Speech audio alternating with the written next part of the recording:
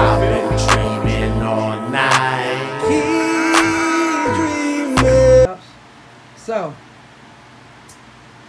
how you been doing going through dialysis? Um,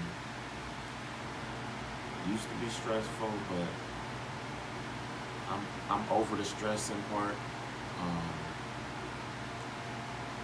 really, I don't even regret being on dialysis. I want to get off, but I don't regret being on it because it taught me a lot of stuff. Like, Like just- what?